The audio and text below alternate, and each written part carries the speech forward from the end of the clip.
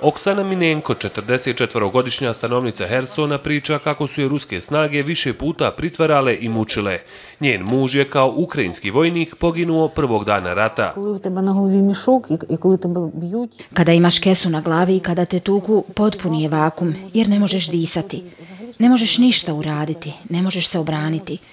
Kada su mi počeli čupati nokte, jedan bol je prerastao u drugi.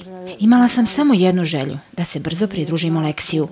Nisam izgubila svijest, nisu me silovali, ali u ovoj fazi sam bila kao sirovo meso. Moglo bi se reći da sam bila živi leš. 35-godišnji Andrij prisjeća se kako su ga mučili elektrošokovima. Stalno su postavljali pitanja. Ja sam davao neke odgovore. To je trajalo jedno vrijeme. Sjećam se samo dijelova. Pomjerili su žice do ušiju povećavajući jačinu strujnog udara. Kada mi je struja udarila u glavu, onesvijestio sam se. Advokatica Ljudmila Šumkova kaže kako su ruske snage pokušavale natjerati zatočene ukrajinske policajce da sarađuju s njima. Tako je bilo i s policajkom s kojom je dijelila čeliju.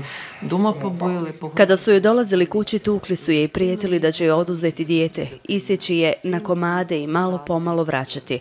Kada su je doveli na ispitivanje, žestoko su je tukli i mučili. Svi smo se brinuli o njoj, bila je sva crno-plava. Stavili su joj lisice, udarali strujom, tukli pendrekom. Ukrajinski tužioci navode kako su žrtve bile izložene različitim torturama. Dodaju da su zlostavljanja bila sistemska i iscrpljuća kako bi se dobile izjave koje su okupatori zahtijevali.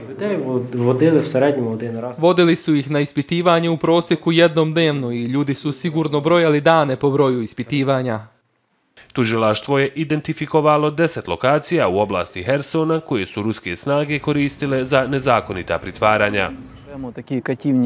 Istražujemo velika mučilišta kojima su upravljale specijalne jedinice koje su izgleda bile obučene za mučenje ljudi. To su jedinice Ruske nacionalne garde i Federalne službe sigurnosti. Osim u Hersonu, ukrajinski tužioci istražuju ratne zločine širom te zemlje. Vode se istrage o navodnim nezakonitim pritvaranjima više od 13.000 ljudi. Moskva negira da su počinjeni ratni zločini ili da su na meti bili civili. Nihat Sadiković, Al Jazeera.